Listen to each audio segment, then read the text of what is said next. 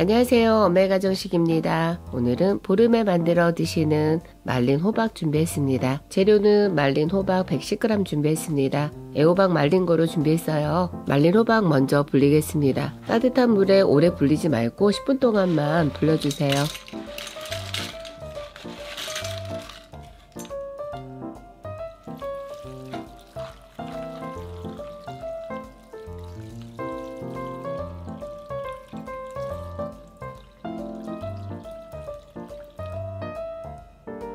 같이 넣을 대파를 송송 썰어주세요.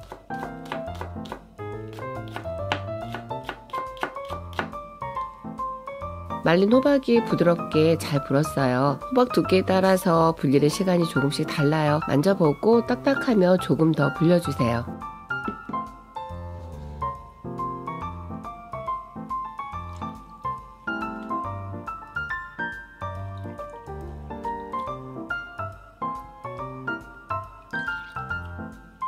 불린 호박은 찬물에 3, 4번 정도 헹구어 주세요. 그래야 말리면서 나는 묵은 냄새 같은 게 나지 않아요. 크기가 작은 호박은 모양 그대로 볶아도 되고 큰 거는 한 번씩 잘라주세요.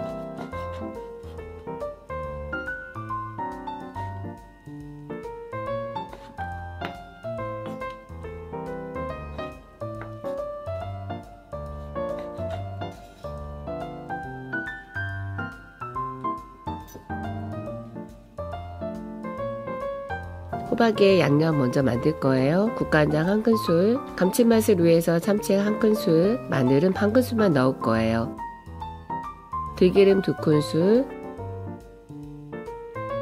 자른 대파 모두 넣고 묻혀주세요. 양념이 잘 묻도록 조물조물 묻혀주세요. 기름 한 큰술을 두르고 양념한 호박을 모두 넣어주세요. 센 불에 볶으면 타니까 중불로 1분 정도만 볶아주세요.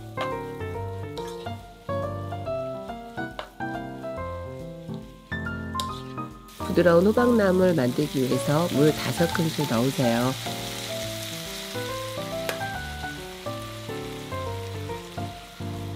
물 한 큰술 정도 넣고 남은 양념 모두 헹구어 부어주세요. 뚜껑을 닫고 3분 정도만 뜸들이겠습니다.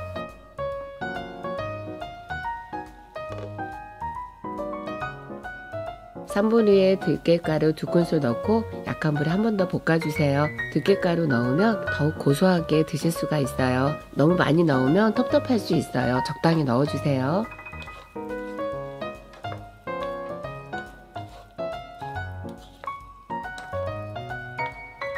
살짝 빠은깨 넣고 마무리 해 주세요.